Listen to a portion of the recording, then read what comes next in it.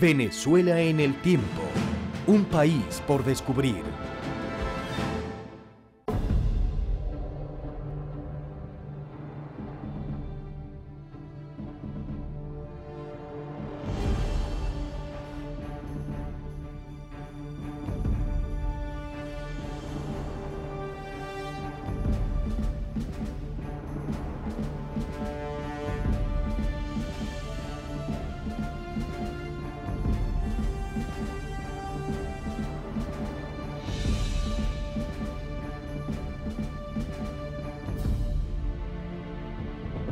Muy bien, amigo Miguel. Estamos en el sector Tierra Negra. Esto acá es donde se inicia los pueblos del sur. Esta es una de las entradas que tenemos desde la ciudad de Mérida.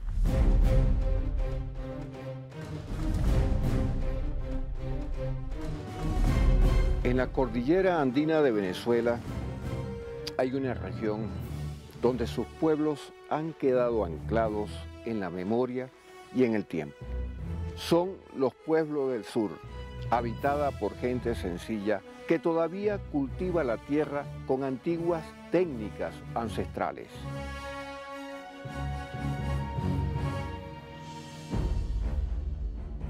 Los pueblos del sur se ubican hacia el lado más austral de la cordillera Sierra Nevada del estado Mérida, acercándose ya a la frontera con Colombia, el país vecino del sur.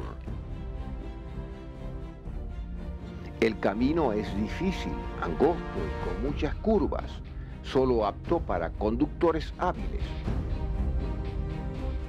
El trayecto es de una belleza espectacular. Iremos subiendo desde los 300 metros para atravesar desde zonas áridas hasta bosques nublados en poco tiempo.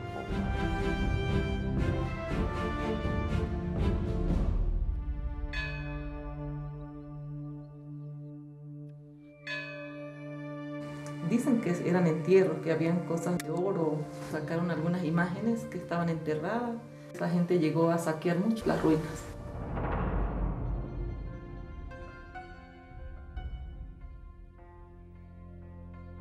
Ya dejamos atrás acequias y a dos horas subiendo encontramos el poblado de San José.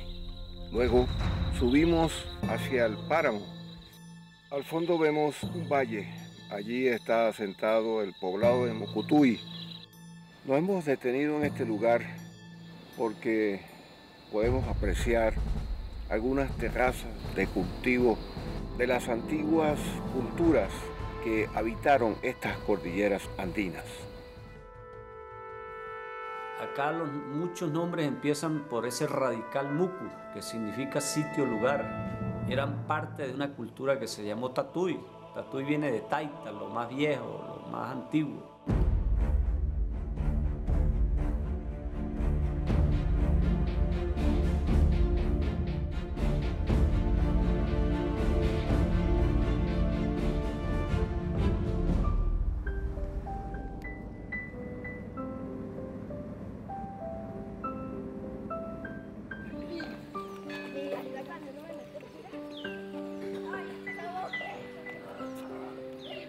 ¿Cómo son los muchachos de Canagua? Em,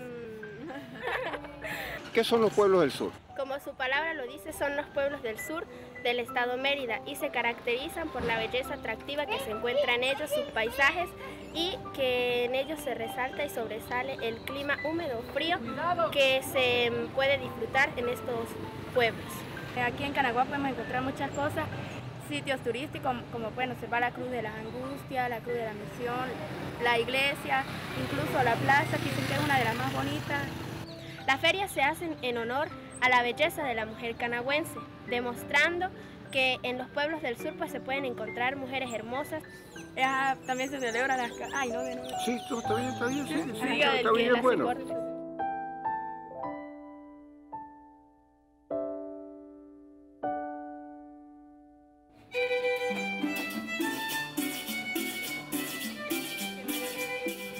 ¿A dónde hemos llegado? Al pino. Al pino. ¿Y dónde está la mucoposada? Allá cerca, allá. ¿Y se duerme bien ahí? ¿Y se come bien? A la orden.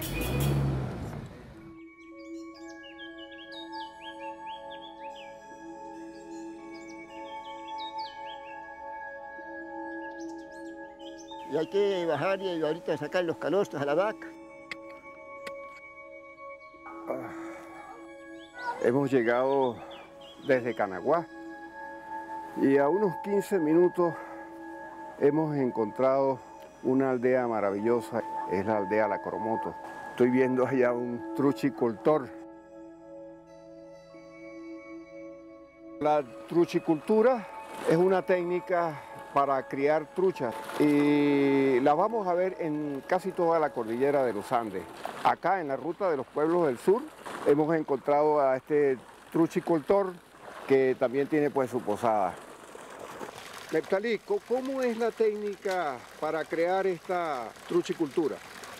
Lo primero que se debe tener es tener agua fría, con una temperatura pues, eh, específica para la cría de truchas. Bueno, siempre tiene que estar eh, en el páramo, tiene que estar por encima creo que de los 1500 metros, 1400 metros, por ahí hacia arriba.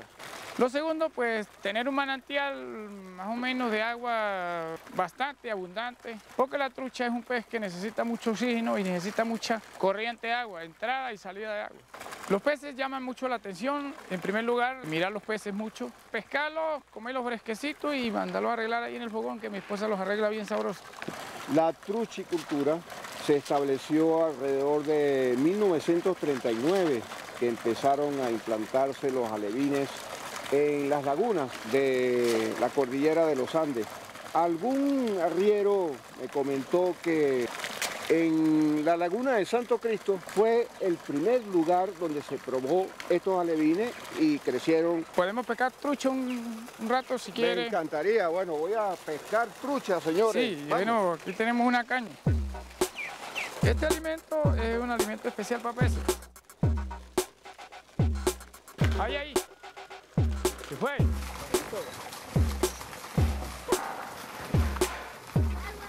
Muéstramela aquí, muéstramela aquí. Este es hembra.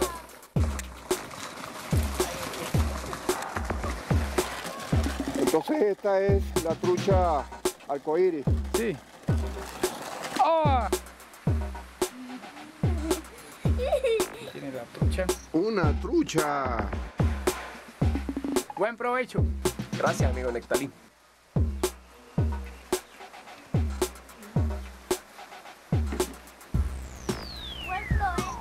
Gracias.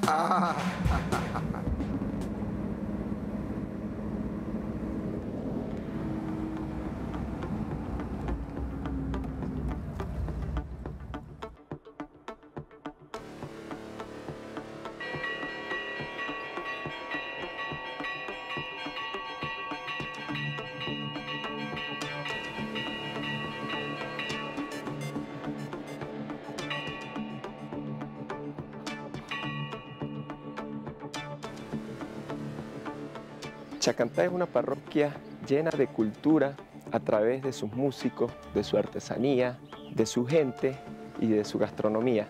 Acá en Chacantá podemos encontrar la fabricación del sombrero chacantero, la fabricación de tapiales o de casas con tapiales, al igual que la música. Siguiendo esta exploración hacia los pueblos del sur, estamos en Chacantá un poblado hermosísimo, apacible, sobre los 1500 metros de altura sobre el nivel del mar. Estamos en la Plaza Bolívar y hemos encontrado un cepo de 1920. Aquí se castigaban a los reos que se portaban mal. Estoy culminando mi tesis etnografía y etnohistoria de la parroquia Chacantá, de aquí de los pueblos del sur. Recordemos que estos pueblos, para los años 60 que llega el primer jeep, los animales en ese tiempo no estaban acostumbrados a escuchar esa locomoción. Jamás habían visto un jeep y se asombraron. Creyeron en principio que era un animal y les comentaban a los demás que les guardaran uno cuando pariera y muchos animales por estos riscos de Chacantá terminaron perdiendo la vida. Estas personas es muy tardío el uso de zapatos. Ellos prácticamente andaban descalzos y al momento de llegar al pueblo usaban sus sandalias hechas con cuero de res, muy fresco.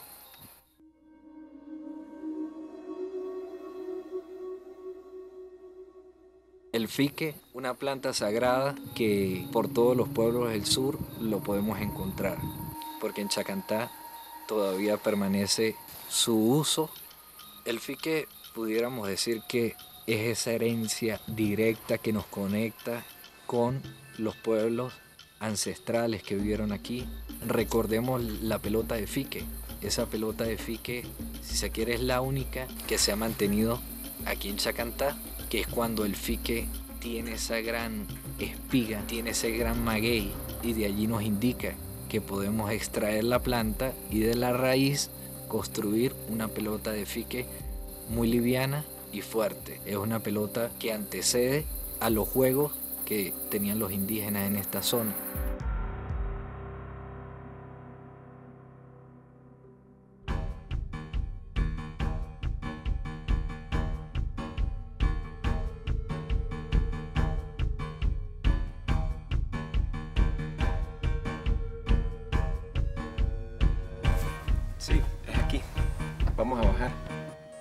Llegamos a la casa? Sí, llegamos a la casa del señor Liberio. Vamos a darle.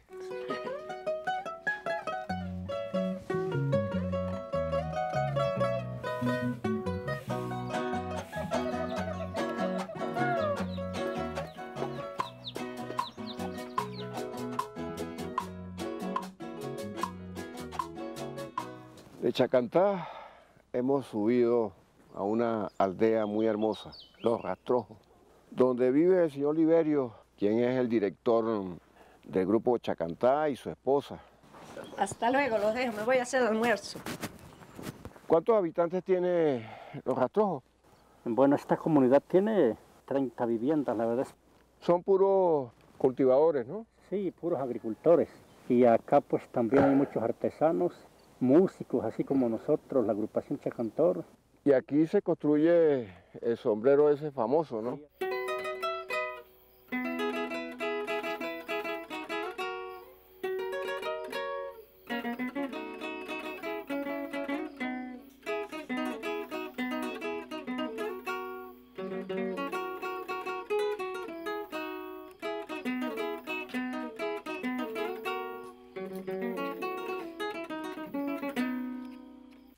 Mire, esta es la materia prima que le dicen caña brava. De esta caña brava eh, sacan la avena y la avena se, después la colocamos así para hacer esta cintica que le decimos tejido.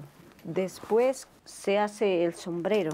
Usamos la aguja, el nylon. Si este es cera de abejas con que se le unta el nylon para que no se deslane y se dañe con el tejido. Mi abuela se llamaba Fermina, ella, ella hacía los sombreros. Y aquí está el terminado. Se le hacen diferentes figuras, como lo quiera la persona. Esto se le dice el plato. Después empieza uno a bajar aquí la copa. Después aquí le dicen la ala. Y esta es la cintica con que se le coloca así para apretarlo. Ah, este es el sombrero patrimonio cultural del arzobispo Chacón, del municipio. ¿Y qué se cultiva en estas tierras? En estas tierras acá se cultiva la cebolla, se cultiva la papa, el apio.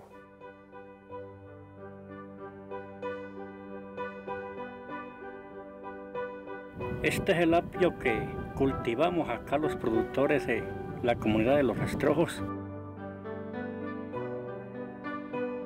Para la siembra se apoda la mata de capa, se labra la tierra y se siembra la matica tarda año y medio para la producción. Se le dan por ahí unos tres o cuatro paleos.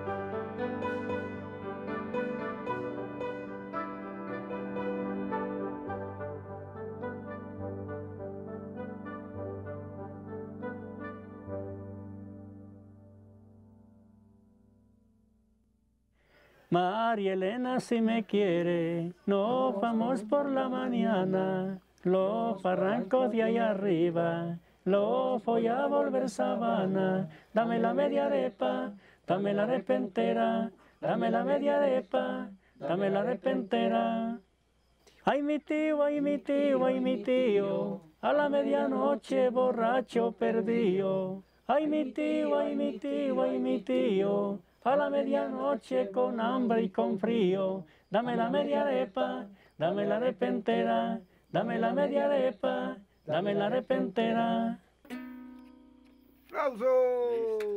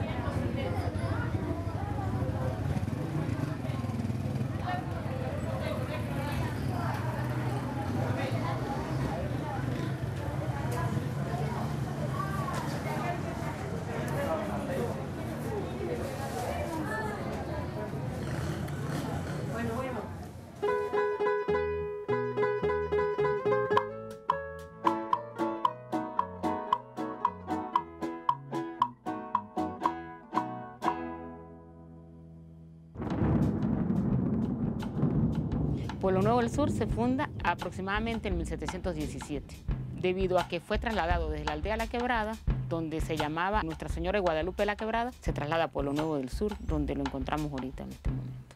Pueblo Nuevo del Sur, por ser puerto de los pueblos del sur, era el lugar más cercano a Mérida. Por allí transitaban los comerciantes y nosotros tuvimos la, la suerte de que el entonces presidente Antonio Guzmán Blanco asignara Pueblo Nuevo del Sur uno de los primeros registros civiles. La fiesta de Santa Rita es el 22 de mayo en la iglesia Pueblo Nuevo del Sur.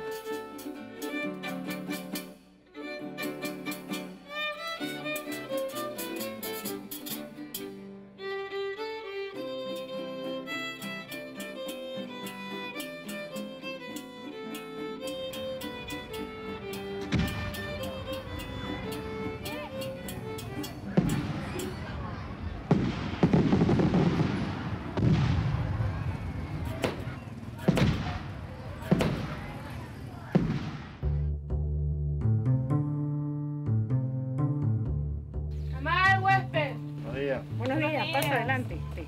¿Su nombre? Juan Carlos. Marisol. Al llegar a la Pocu Posada Jicacuy, tenemos una ruta. eh, conocimiento al casco central, el sector del Paramito, parte alta. La segunda es a la aldea Mucusus, al santuario de Santa Rita de Casia. Mirándote a los ojos, mi corazón no miente. Mirándote a los ojos, yo sé que tú me quieres. Mirándote a los ojos, mi corazón no miente. Mirándote a los ojos, yo sé que tú me quieres. Nos hemos detenido acá para llegar hasta uno de los símbolos religiosos de los pueblos del sur. Estamos en la capilla de San Benito de Palermo, en la aldea La Joya. Hace muchos años, antiguamente era una chocita, mientras que iban picando, haciendo plan, con lo mismo que picaban, la misma tierra que iban sacando, iban haciendo las paredes. Estamos hablando más o menos como unos 250 años más o menos atrás.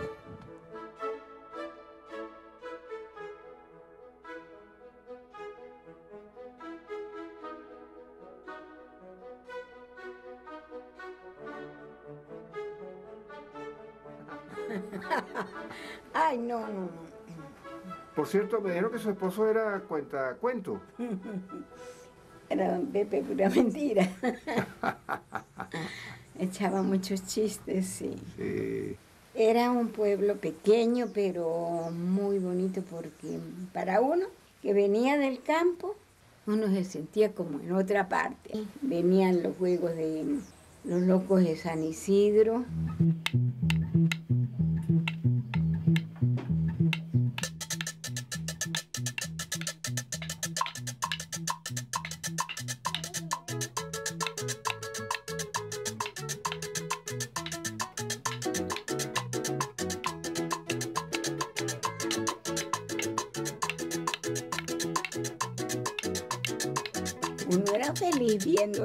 Y corriendo también para que los locos no lo agarraran, porque uno les tenía miedo, pero uno se ponía a mirarlo. Ahorita viene el moldeado. Se trae para acá. Mi trabajo es artesano, trabajar con barro, lo más mm, indígenamente posible, como aprendimos de nuestros abuelos. Así trabajamos, no se le ha cambiado nada a la cerámica de Pueblo Nuevo. Como lo hacían los abuelos, la hacemos nosotros ahorita. Nosotros lo único que utilizamos es el barro, que son dos tipos de tierra. Esta la llevamos para allá, para el cajón, amasar. Después que se secan bien, van al horno a fuertes temperaturas para que aguanten volver a cocinar.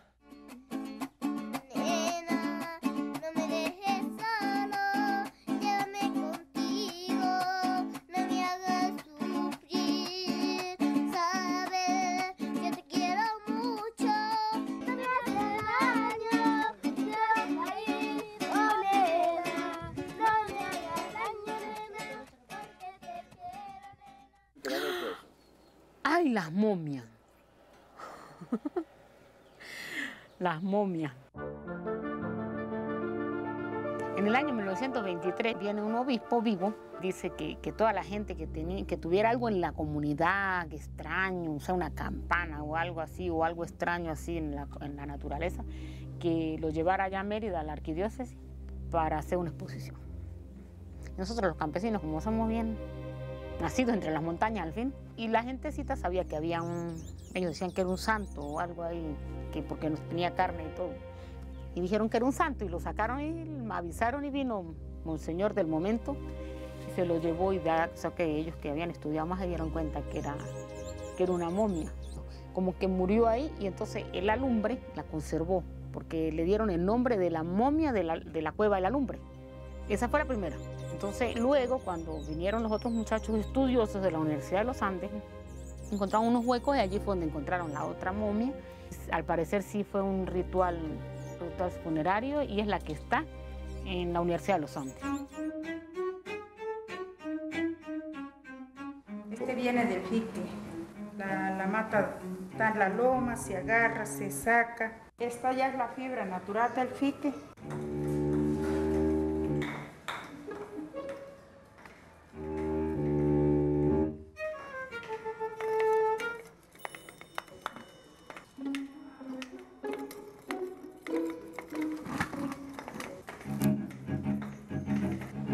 Enseñó mi abuelita, yo tenía 12 años.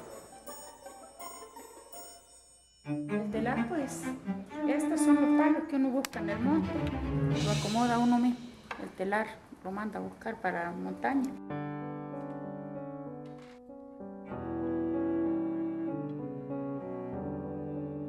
Ajá, este se arma un pedacito hasta que llegue como unas 20 hebras, después se le pone el rojo o el azul, el que haya, para poder que quede adornadito.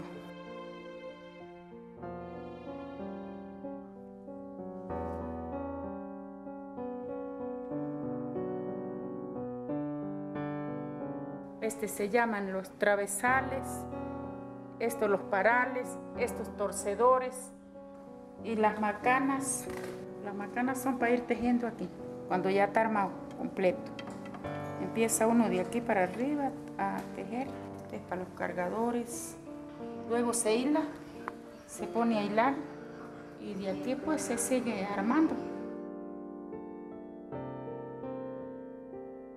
Vamos a enseñarle un poquitico aquí con la aguja. Un poquito para que vean cómo es el trabajo. Con el pique hacemos cabullas, eh, cinchas para las bestias, chinchorros, pelucas para las locainas. Y bueno, ya cuando están finalizados, pues ya se ponen a la venta.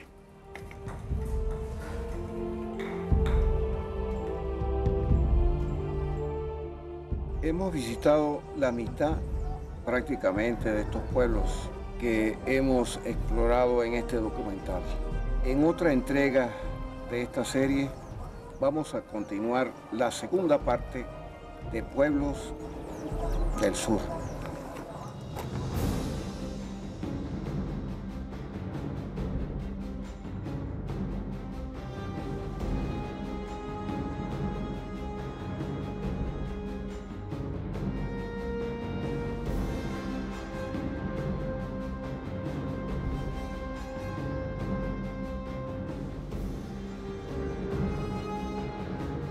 Venezuela en el tiempo, un país por descubrir.